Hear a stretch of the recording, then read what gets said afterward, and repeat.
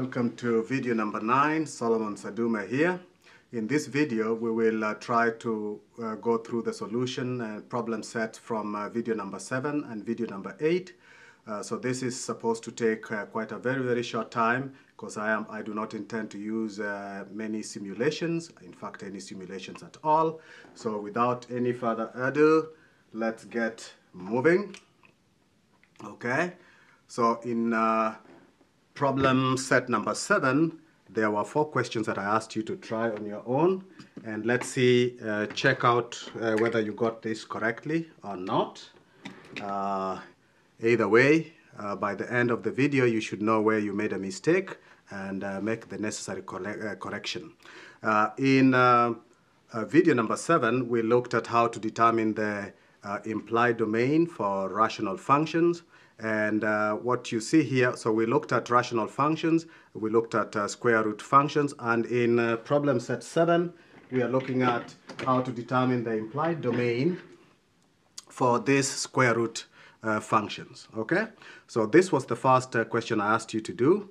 Uh, f of x is given by the square root of 3x minus 1, and your task is to find the implied domain of this function. try to find the range as well. Now we have a general idea of how uh, the square root functions look. So once you know where the, uh, the graph starts or the lowest or the boundary position of the x, you can always determine the rest of the function. And then from there, we can then find the range of the function. So we'll try to sketch as well, right?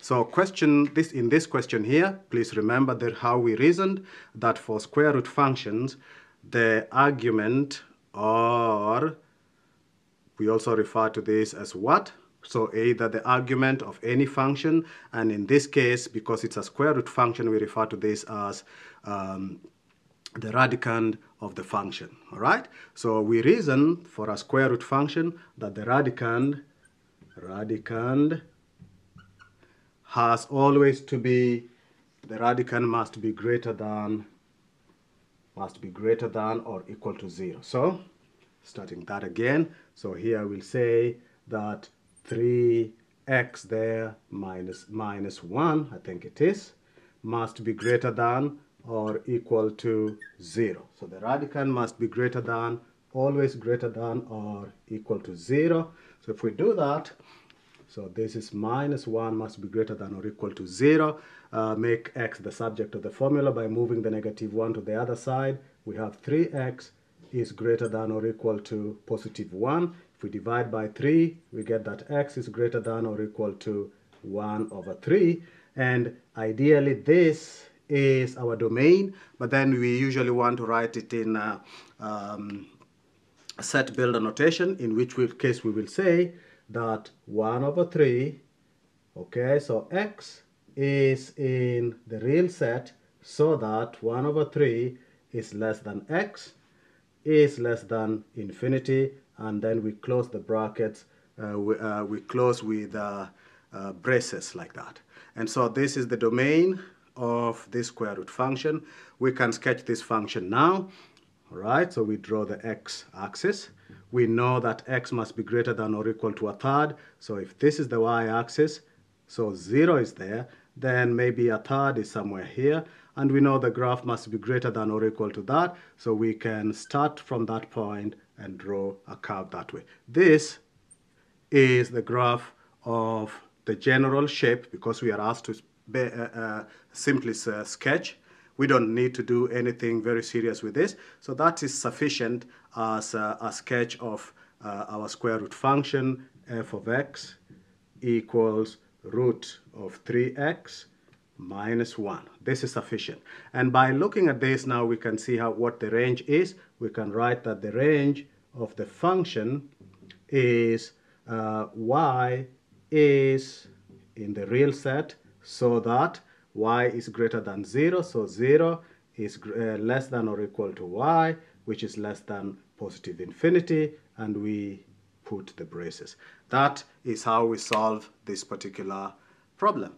All right, should be straightforward. If you have uh, watched the previous video, video number seven, this should be uh, very, very, you know, smooth sail. Okay, let's try the next question. So in the case of the square root functions, we just have to reason that uh, the argument has to be greater than or equal to 0. And why do we do that? Because we reason that inside the square root sign, we cannot have a negative number. We cannot determine the square root of a negative number. So for that reason, all values must be greater than uh, 0. Next, okay, so this was uh, part B of the question uh, uh from set 7. All right, so similarly, same, same story. We reason that the, uh, the radicand there, or the argument, the argument being 1 minus 2x, this value here must be greater than or equal to 0 for us to be able to find its square root. So um, uh, we want to make x the subject of the formula. We'll write minus 2x. Now we need to be very careful. Minus 2x equals negative 1. Now then we divide by negative 2. Remember when you divide by a negative number, the sign of the inequality flips. All right, so if we divide by negative 2 here, we get x. Let me just write the whole thing for the sake of uh, uh, those who might not have experienced this before. So we can write this as minus 2x divided by negative 2 must be greater than or actually this now would not be this but we'll write it there like that. We are dividing by a negative number. For that reason the sign of the inequality has to flip. So we can't write this anymore. So this goes back there like that. The sign has flipped and now we put negative 1 over negative 2. Whenever we divide or multiply by a negative number, the sign of the inequality flips like that. And now we have x is less than or equal to, and this is now positive a half.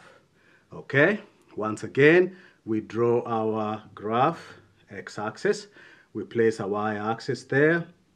Okay, now we have uh, the position of x is a half but we are told x has to be less, so it has to be on that side, and so our graph goes like that. All right. Uh, we may want to find the y-intercept. Sometimes the examiner might ask us to find the y-intercept.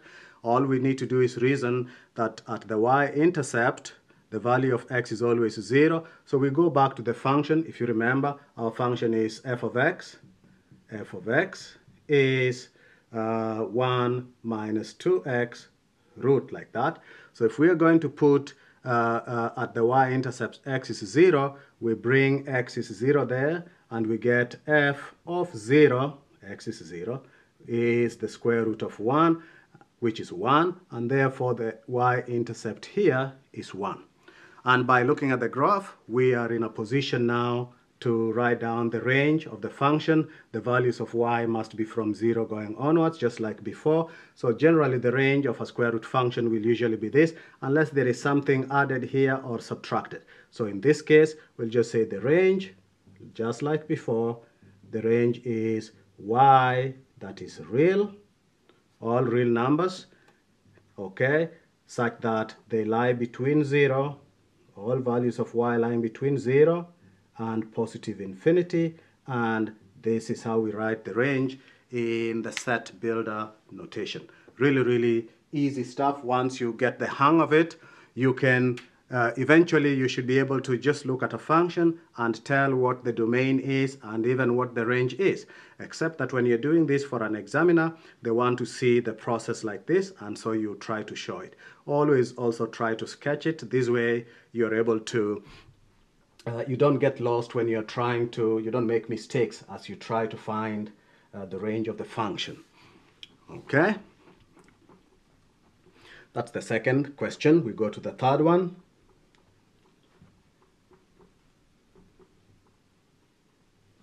Right, so here is the, the third question from lesson number seven. We are given that uh, f of x is the square root of x plus 1 all together and then plus 3. So you notice this is a bit different from uh, the last two questions we've looked at in the sense that there is an addition of 3 there. If you've done some transformation of functions, then you know that the plus 3 there has the effect on the main function of raising it or lowering it uh, uh, along the y-axis. So in this case, it causes the function to rise three uh, vertical steps, all right, or three units uh, uh, in the positive y direction, okay? So that's what uh, the positive 3 there does, nothing else really. As for the domain, we use the same, same rule that we did use, and we say that the argument here, x plus 1 must be greater than or equal to 0. So x must be greater than or equal to negative 1. Again, that is our uh, uh, domain, and we can write this in set builder notation by just saying uh, the, the, uh, the domain uh, x is a member of the real set so that x is always greater than negative 1, greater than or equal to negative 1, and less than positive infinity, and close the braces like that, and that's really the domain, okay? We can use the same method to find the range. So draw a graph there, this is our y-axis and x-axis, okay? This is 0, and we look for negative 1, x is greater than. So if this is negative 1, ideally we should now draw, we should now draw the graph here like this. Okay, starting from 0 and rising that way. I'm using pink there to try and uh, make this more understandable. However, all right, so if this 3 was not there, then this is how our graph would look. In fact, it would pass through, if we only had this part here, it would pass through when x is 0, it would pass through positive 1. When x is 0, we have square root of 1 there. So this would be positive 1, and that's this point here. So this point, the original point, would be positive 1 if we didn't have that 3 there. But now we have the 3, so when x is 0, if we put 0 there, the square root side will give us positive 1, but then we have to add 3. So the new y-intercept is going to be at 4. So now my graph has to be slightly higher. Okay, so that would now be my y-axis. And this point would have added three steps. And now this is going to be my y-intercept. It's going to be at 4. Okay, so the y-intercept is now at 4. Uh, when x is negative 1, when x is negative 1, put negative 1 there, we have 0. Negative 1 plus 1 is 0. Square root of 0 is 0. 0 plus 3 is 3. So this point would be at 3. Like that. And the graph would repeat itself. It would be this, but it's been all shifted up like that. So the graph now starts at 3 and not at 0. So that is the, what uh, the effect of adding a 3 to the function is. And so if we are now asked to write down what the range is, you should be able to clearly see that the range, I'll write this in pink or even orange, so that we markate, demarcate the, we can easily, we can see the difference. And thus, so we have the range being equal, uh, y being members of the real set such that y lies uh, starts from 3 so it's from 3 onwards so uh, uh, y is greater than or equal to 3 and less than infinity and so this was the difference between this function and the other functions that we've looked at. I hope you, you have been able to, you were able to understand, especially how the 3 here affects the function, okay? All right, let's, let's move on to the next.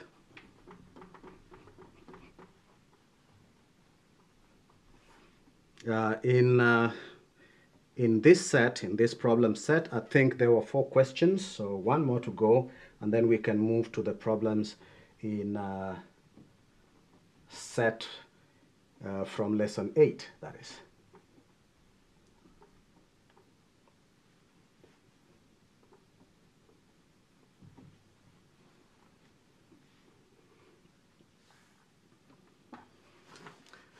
Right, so here is uh, part D of uh, problem set 7.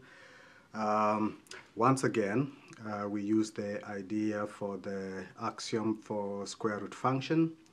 Uh, the argument, like before, has to be a number that is uh, greater than 0. We'll do this a bit differently because of the nature of that argument. As you can see, it's a, a, a quadratic function. Uh, the coefficient of uh, x squared is negative, so we know how that function looks like. It's a concave down uh, parabola. So the argument has to be greater than or equal to 0. We factorize the left-hand side there, and um, x into 1 uh, minus x must be greater than or equal to 0, meaning this product has to be positive. So if the product is positive, then either x is greater than or equal to 0, okay, x is greater than or equal to 0, or the bracket there is greater than or equal to 0, all right, in which case, in which case uh, we can show that x is less than or equal to 1, well we can show that very quickly here. Uh, if 1 if 1 minus x is greater than or equal to 0, then minus x minus x is greater than or equal to, we move 1 to the other side, becomes negative 1. Divide both sides by negative 1, and we know when we divide by a negative number, the sign of the inequality flips, and so we end up with x is less than or equal to positive 1 and that's how we get that right?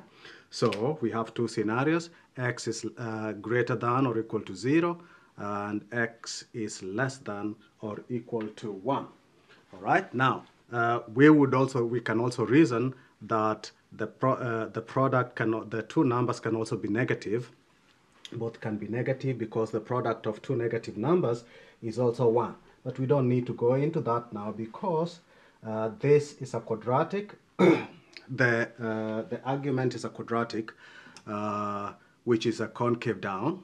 And because of that, we know that the, function uh, cannot be on the negative side. So uh, let, us show that shortly. So let's keep these two results up here for the time being and remove this. And so we sketch the graph. If we sketch this graph, start with the the x-axis there, uh, then a y-axis. We know that the graph lies between or is uh, dictated by these two points. So we indicate those two points on the graph, 0 and 1. And we know the graph is greater than or equal to 0, so must be on this side of 0. And it's less than 1, so it's on that side. So the graph is in between. Uh, when we sketch that function, I want to sketch both uh, the argument so the dotted line shows the graph of the argument, that is the quadratic function in there. It is a, a concave down parabola, okay? And uh, if we are going to look for the square root, definitely will not look for the square root of that because it's already negative. So there's no point of looking at for, for the square root of that. So we are interested in values that are in here, okay? Now if we look for the square root of these values lying between 0 and 1, we get this curve here with the peak at 0.5, 0.5. As you can see, this is the function, uh, uh, the, the radicand, if you like, or the argument of the square root function. And what you have the up there, uh, the green line refers to the square root function. And so this is how, how our function f of x looks like. Uh, what is the range of this function? And that should now be easy. It's basically be from 0, values of y starting from 0, and having a maximum of 0.5. Right, so uh, the next question there is, I think, now from lesson number 8, problem A. And now we have reciprocal functions. What we've just dealt with was square root functions. So let's look at uh, these reciprocal functions. Uh, the first one there is 1 over x minus 3. Now when it comes to reciprocal function, thinking about the axioms we discussed, right, we reason that the denominator can never be equal to 0. That's the reasoning for reciprocal functions. And so straight away when we look at this, we say the denominator there is x minus 3 cannot be equal to 0. Okay, for that function, uh, uh, for us to be able to determine that function or for that function to be defined, the denominator must not be a zero. If we rearrange this, we can see that x cannot be equal to 3. So x can take any value other than 3. If we sketch this function, these are uh, reciprocal functions are always a curve here and a curve there. We have four quadrants, okay? If one curve is here, the other one is there, all right? If one curve is here, the other one is here, all right? So if that is our function there, that, that, that line doesn't look very nice. So I'll do it again. Okay, so one line horizontal, one line vertical. That's much better. This is my y-axis, this is my x-axis. x must not be 3, which means that we go to the point 3, the point with the coordinates 3, and draw a vertical asymptote there to say that x must not take a value of 3. So x can be anything but not 3. Okay? And so uh, how does the graph look on this side of the function? We can also reason like this. Uh, so we have there uh, 1 over x minus 3. Let's work with this. So if we take a number like 4 and put 4 here, then I have 1. Okay, so what is f? This is f of x. What is f of 4? A number to this side of 3 well, that gives me 1 over 4 minus 3, which is 1 over 1, which is positive 1. So we know the function is on the positive side. This is sometimes referred to as a sign diagram. So on this side, the graph is going to be up. What about on this side? We can take, um, uh, we can't take, we can't take uh, what? We could take 1 if we wanted we can take a value of x equal to 1 or even a value of x equal to 0. If we put a 0 here, we get a negative a third, which is to say on this side, the graph is below the, below the uh, x-axis. So because of that, I know that on this side, my curve must go that way. You, you get better at it with, uh, with practice. Okay, and on this side the curve must come like that and go down and now we can look for the y-intercept there what's the value of the y-intercept the value of y when x is 0 put x is 0 there, we get negative 1 over 3. That is our y-intercept. And this is the graph of this function. So then the question is, what's the domain, or what's the range of the function? Well, the range of this function can be seen. The graph does not cross the x-axis. So we can have uh, values of y that are greater than 0, because this continues on to infinity. Okay? And here continues on to negative infinity does not cross the x-axis. So we can say that y is anything in the real set, okay, but y cannot be equal to 0. Anything in the, in the uh, real set, in the y-axis, except y must not be equal to 0. This is enough as uh, uh, the range of this particular function. I hope this is clear as well. All right, this, this is not as uh, confusing as the previous case we just looked at.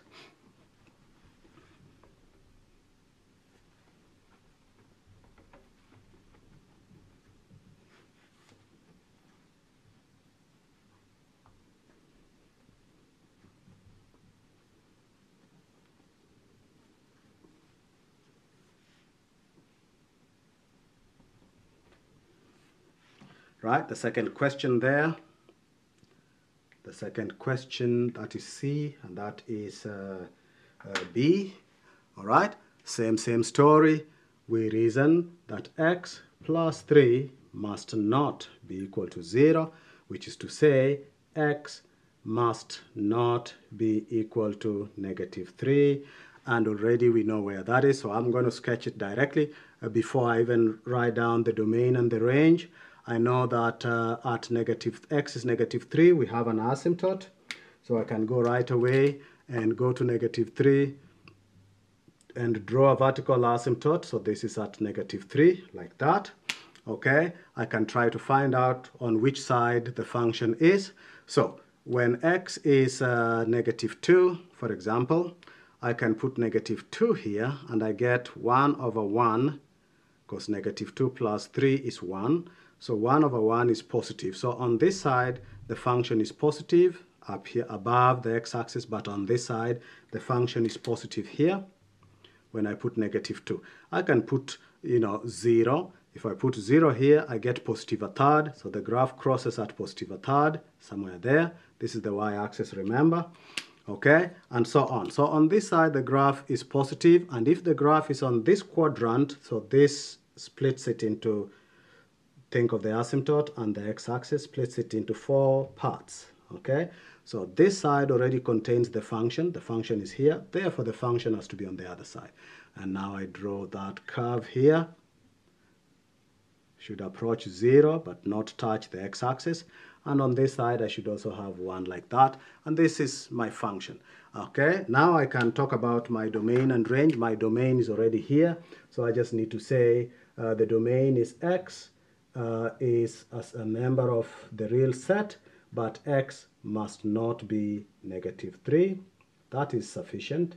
And the same thing for the range. I'll say y is in the real set except y must not be uh, equal to 0 okay? So anything up anything down but not crossing uh, the x-axis all right? So that's that. That is B of uh, lesson 8 exercises. I hope you got that right.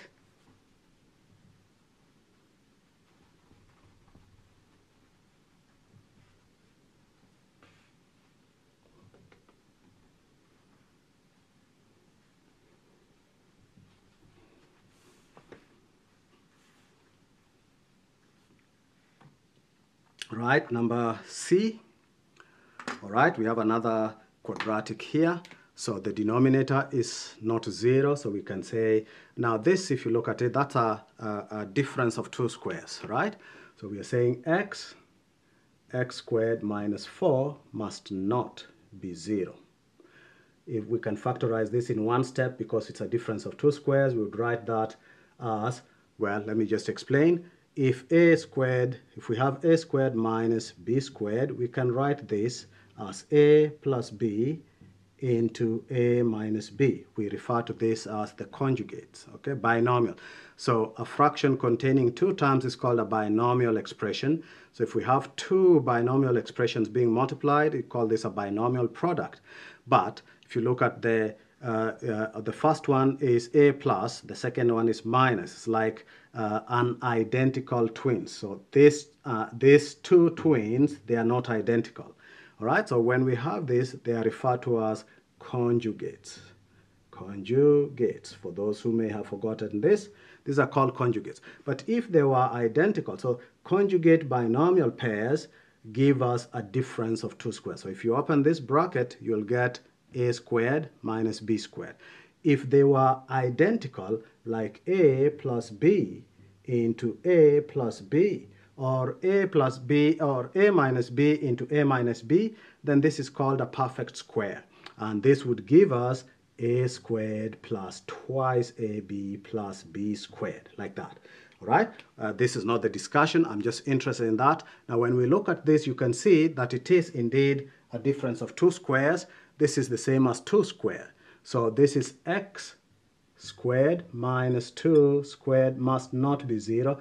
I can open this the same way of where we see here and I'll write x minus 2 in one bracket and x plus 2 in the other bracket must not be equal to 0. I hope you understood. Now I can remove this. Okay, so the, the product must not be a zero. So if we are to find the values of x that will uh, uh, disobey this, if I make x a 2 here, this bit becomes a 0 and will render the whole thing 0, which will mess up. So x is 2 is what we are looking for. We are looking for something that is going to mess up, right?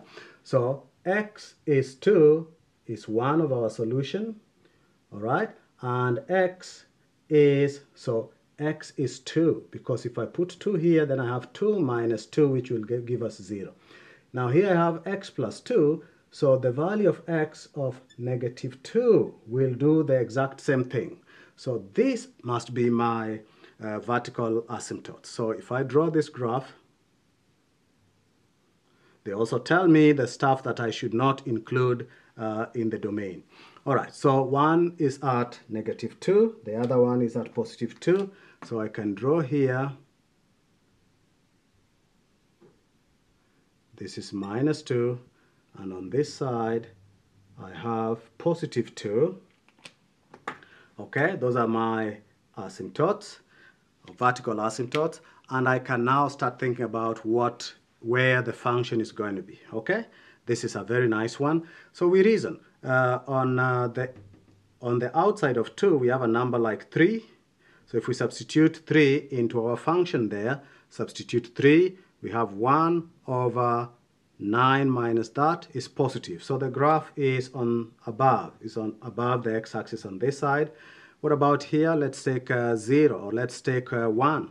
If we put 1 here, then we have 1 over 1 minus 4, so it's going to be a third, so on negative a third. So on this side, the graph is negative. What about here? Let's take a number like negative 1, put negative 1 here, Negative 1 squared is positive 1, but 1 minus 4 is negative a third. So here is also, the graph is going to be negative, right? What about on this side? Put negative 3, for instance. If we pick a point that is negative 3, substitute negative 3 there, we get positive 9. 9 minus 4 is 5 positive, so 1 over 5. 1 over positive 5, so the graph is positive on that side.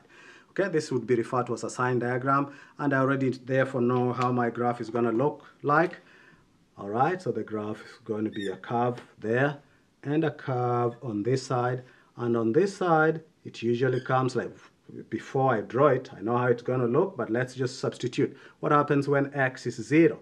Substitute 0 there, okay? And we get negative a quarter. So the graph crosses at negative a quarter. So we know this graph must go like that. And this point here is at negative 1 over 4. Just as simple as that. All right, that is how the graph of uh, uh, this particular uh, uh, reciprocal function looks like.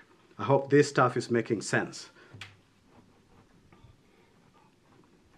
Of course, the domain, sorry, uh, based on what we've just determined, uh, x cannot be 2 and x cannot be negative 2. So our domain is x is all real numbers, but x cannot be 2 and x cannot be negative 2, like that.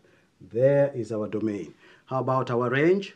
This is also nice, also important. These are asymptotic about the x-axis, so the lowest value of y can come close to 0, but no 0. So we can say y must be greater than 0, okay, just above 0.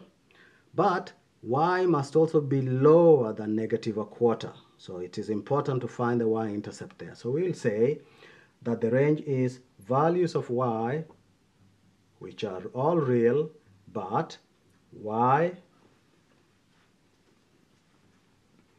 write it again, y must be greater than 0, less than positive infinity, and we usually say union, so put that in bracket and say union y must be less than negative 4. So must be uh, negative 4, negative 1 over 4, okay, uh, is actually negative 1 over 4 is larger. So we can say negative infinity, negative infinity less than uh, y less than or equal to negative 1 over 4, like that uh, bracket there, bracket there, and this is our uh, range.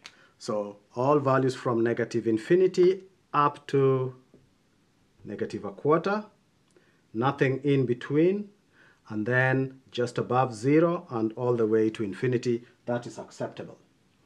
Yes? Okay. Uh, next. Uh, this was C, one more, and then there was there were those extra questions that I also gave.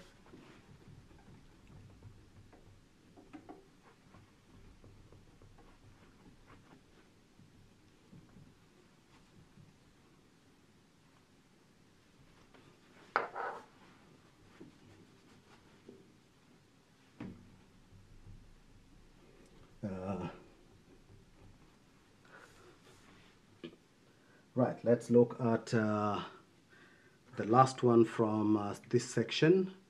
Was it the last? Oh, C was the last. No, there's one more. Here we go. Find the implied domain. So this was the square root uh, and reciprocal as well. So those were only three. Now we start on uh, an additional exercise that we gave. So what we notice here is we don't have, we don't just have uh, a square root function and we don't just have a reciprocal function but we have the two of them combined okay so uh, find the domain of this uh, function here. It is a combination of a reciprocal function and a square root function. How do we find the domain? Well, we combine the reasoning from the previous two ideas. We say, first of all, the number inside the square root sign must be greater than or equal to 0. However, so we would say x, x there, must be greater than or equal to 0. That's, that should be the reasoning for inside the square root sign, for this square root. However, if by saying this we are saying 0 is included, but if we put a 0 there, then it now fails the reciprocal function, okay? Because for the reciprocal function we cannot have a 0. So to ensure we take care of the square root function as well as the reciprocal function, we have to remove the equal sign now, okay? So x can only be greater than 0 to accommodate for the requirements of the two functions we've talked about. So now x must be greater than 0 and this by itself is the domain, okay? So this is the domain of the function. Uh, x is in the real set such that x is greater than 0 and even if you left it like this, it is sufficient enough uh, for the domain of the function. Let's see another one that looks a bit uh, rougher than that. That's not so bad. All right, let's see. Uh, right. Oh, here uh, let me. Let, we'll go one by one. So that uh, so the, here are the four questions, and we want to look at them one at a time. So here is the first one. Then we've done that. So let's look at the second one. It's this one here.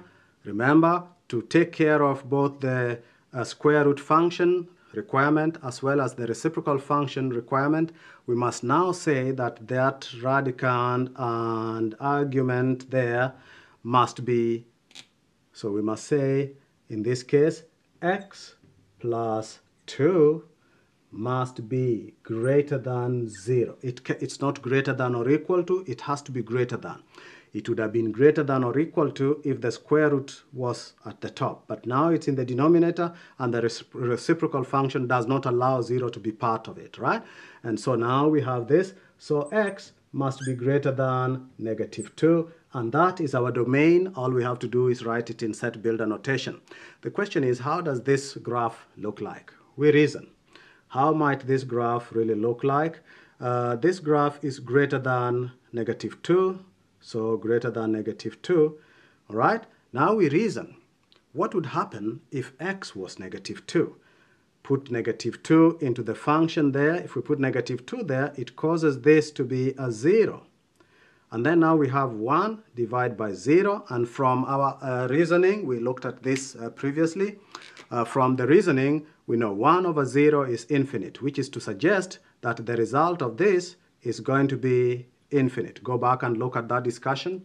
Infinity means undefined, which means we do not want to discuss it. So to represent it, we need uh, an asymptote, right? So in its place, we uh, so at this point, at this juncture, we draw a vertical line to suggest that our graph cannot cross that vertical asymptote uh, the value of x cannot be negative 2 because if we put negative 2 there, it renders the denominator as a 0 and 1 over 0 is infinite, which is not allowed. So we make a boundary here to indicate that our graph must not pass through that point.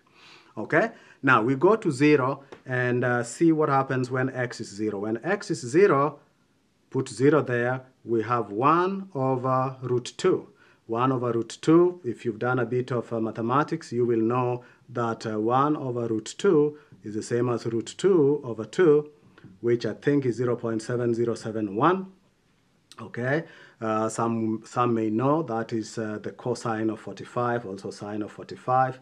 All right, so we know that this is going to be 0.7 somewhere there. But what happens as the value of x approaches negative 2?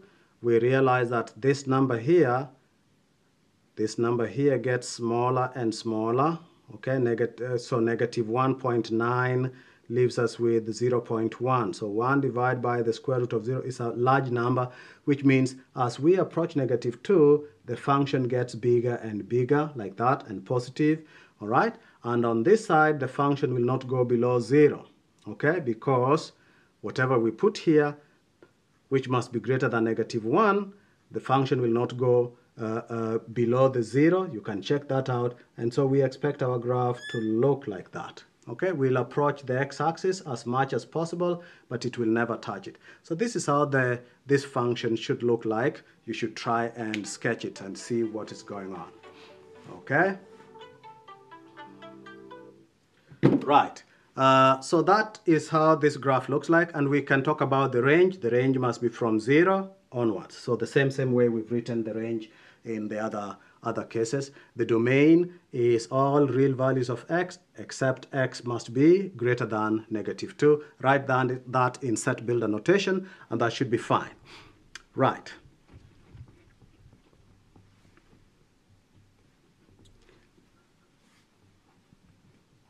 Uh, that was the second one. The third one, second last one, I believe was quadratic.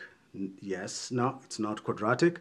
So once again, we reason because of that square root sign, uh, the argument in there, the 4 minus a half x, cannot be equal to 0, must be greater than 0. So 4 minus 1 over 2x has to be greater than 0. Move the 4 to the other side. We have minus a half x is greater than negative 4. Divide both sides by a half. We get x, we are uh, negative a half. We are dividing by a negative number. Our sign flips like that. And our answer on this side is 8. So we know our function is such that the values of x must be less than 8. Okay? This is already the domain. Just write it in set builder notation. I, I, I believe we don't have to do that anymore. Uh, we've done enough of those and everyone should be fine now, hopefully. Um, and so we go to the point x, uh, x is 8. So pick that point as where our 8 is. Okay. Uh, what is happening to our function? It's in the denominator. So at this point, if we were to put 8, if we were to put 8 here, we'll get 4 minus 4, which is 0, which will render this asymptotic. And so at 8, we draw a vertical dotted line to represent an asymptote. That means the graph cannot uh, uh, cross that line. And we are told values of x are less than that 8, which means our values of x are on this side. Okay? If you sketch this graph, you should realize that as you approach 8 from this side, the graph gets goes higher and higher okay? Because a number close to 8 makes the difference smaller and smaller okay?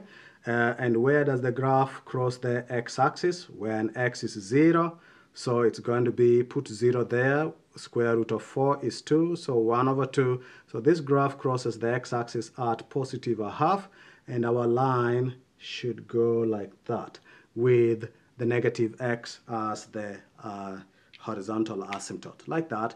And so it should be possible again for us based on this we can determine the range. The range has to be all numbers above uh, 0 so greater than 0 so all real numbers that are greater than 0 will constitute the domain uh, the range of this function. Okay last question and that will be the end of this this video was simply to solve those questions. Once again, if you uh, have an issue with one of the questions, let me know. Uh, if you didn't understand any step, just uh, send me a message, write in the comments down there, and I'll be able to look at it. Yeah.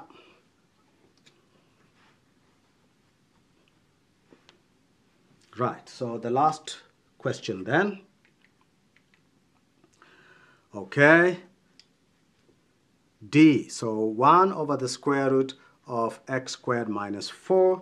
Once again, uh, we have a, quadratic, in fact a difference of two squares uh, under the square root sign. So now we have to say that x squared, I'm going to use a different color.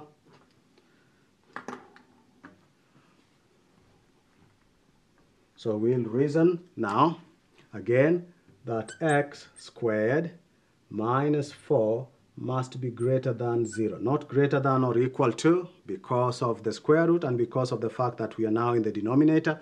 And so this is a, a difference of two squares, so it's a, a, a, conjugate product, meaning I can write x plus 2 x minus 2 is greater than 0. Is greater than is always positive. So once again, both are positive for, for the product to be greater than 0, for the product to be positive, either both are positive or both are negative. I want to go slowly now, right?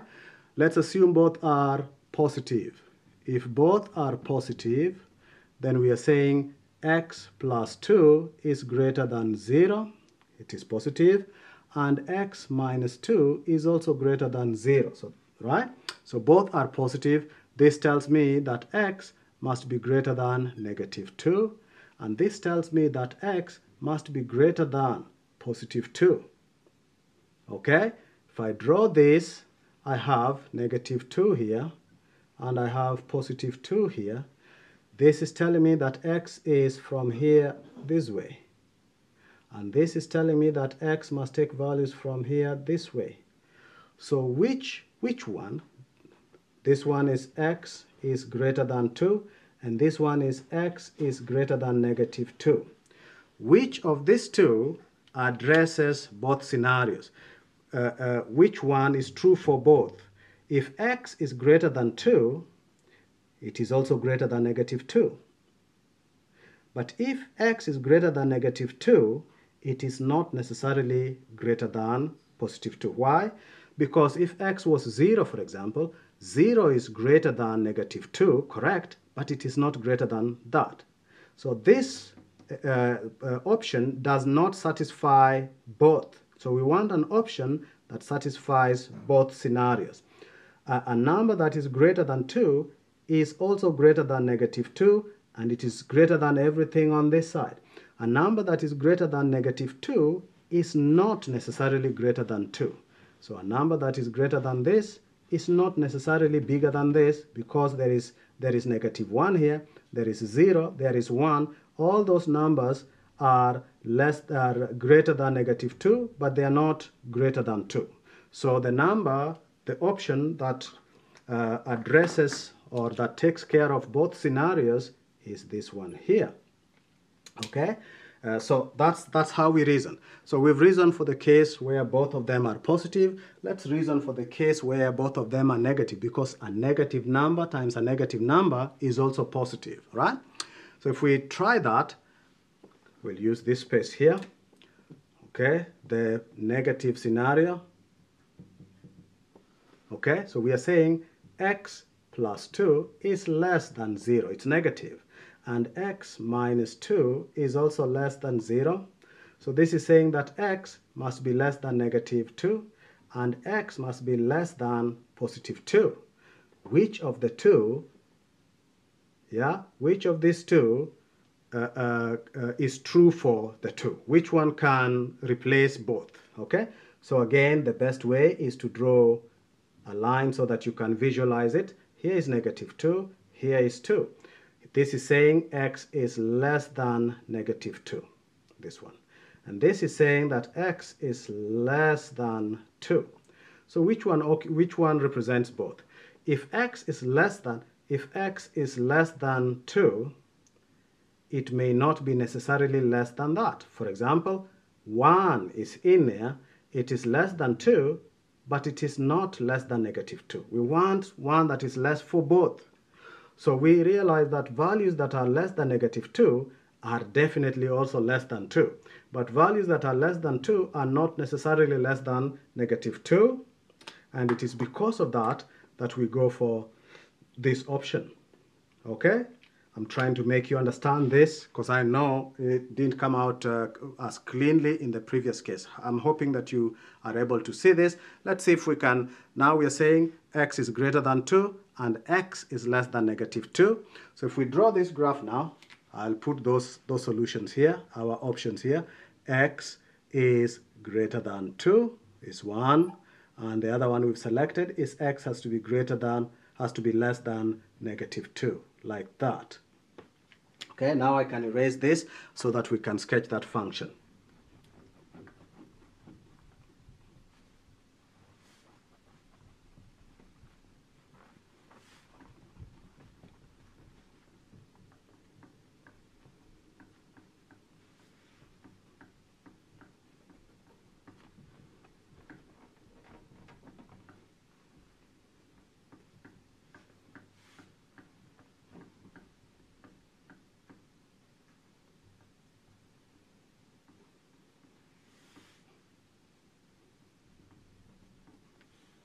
Right, so let's, uh, let's sketch this function. So uh, the x-axis, so that's the x-axis. We put uh, negative 2 here, and we put 2 here, right? And uh, x has to be less than negative 2. So first of all, when x is negative 2 and you put it here, you get a 0. Negative 2 squared is positive 4 minus that is 0. So we have an asymptote here. Definitely an asymptote. And another asymptote is here. So how should our graph look like? If we are not sure, so we know there is a y-axis right there in between. Okay. Now we have to reason where does the graph cross the y-axis? Put a 0 in there. If we put a 0 there, put a 0 there, and what do we notice? Uh, if x is 0, well, we have square root of negative. So the graph does not cross the x-axis ever. Okay? Uh, uh, so is the graph there for a value of x equals 1? Put 1 in here. Whatever you get is going to be square root of a negative number. All right? So the graph cannot be, uh, the, the values of x cannot be in here between. Okay? x must be greater than 2 and x must be less than negative, uh, negative 2. So we cannot have values of x here. That means there is, the graph is nowhere in here between. All right, so now let's go outside of these two boundaries. Uh, negative 3, put negative 3 there. Negative 3 squared is 9. 9 minus 4 is 5. So we get a positive. So the graph is positive there. And on this side also the graph is going to be positive. So we know this function should look like that. okay, so this must be the graph of this function. And you can see that for the range, the range must be values of uh, y that are greater than 0. So any value of y greater than 0 is acceptable. Values of x must be less than negative 2 or greater than positive 2 and this is what we this is what we get okay i believe we've done all the questions i hope you understood what was going on if you have a question like i've said uh, just send me a message or write in the comments and i'll be able to get back to you all right otherwise thank you for watching the videos um, uh, if you like the video please uh, uh like it and uh, subscribe right? That way, if you like it, uh, you will be able to get notification when the next video is, is, is available. All right, thank you very much. Thank you.